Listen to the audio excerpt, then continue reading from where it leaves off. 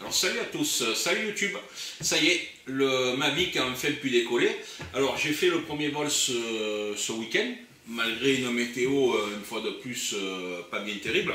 Ben, il a plu, écoutez, il pleut tout le temps en ce moment, et puis là cette semaine il a fait beau, et puis dimanche il y avait un vent à décorner les bœufs.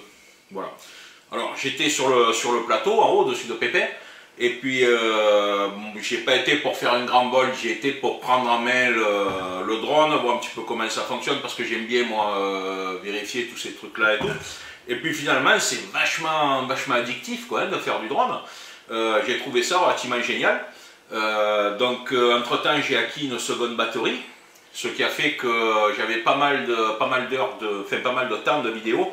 Alors j'ai fait une vidéo compactée au maxi parce que ça sert à rien que je vous fasse voir quand je le fais tourner sur place, que c'est pas vraiment utile. Euh, par contre, j'ai fait quelques atterrissages relativement, relativement mouvementés. Euh, donc j'ai voulu à tout prix le faire atterrir dans la benne sur le toit du, du 4x4, donc ce qui s'est fait. Euh, mais les rafales de vent étaient relativement violentes. Alors, sur, sur UAV Forecast, il marquait 44 km/h pour les rafales de vent.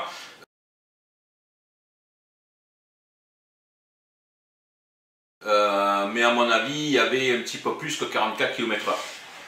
Surtout sur le plateau là-haut.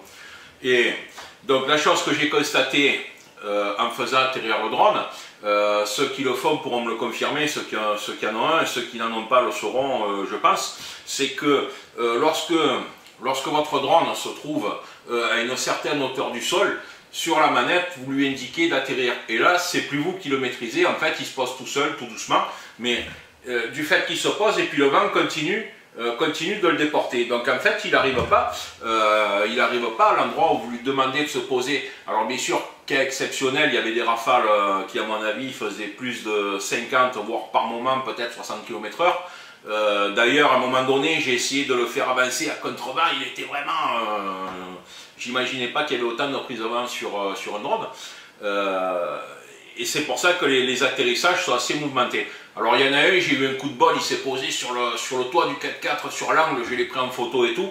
Euh, c'est pas mal du tout, vous verrez, il s'est accroché euh, grâce, grâce au, support de, euh, de surélévation. il s'est accroché sur le, sur le porte-galerie du 4x4. sur, donc vraiment il a belle. Voilà.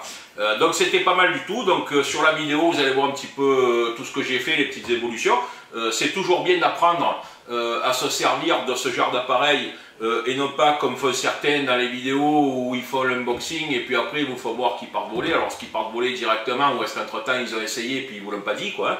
Euh, voilà. Maintenant au prix du drone ça vaut le coup de se familiariser un petit peu avec les commandes et tout ça. Allez, je vous souhaite une bonne vidéo à tous et à la prochaine.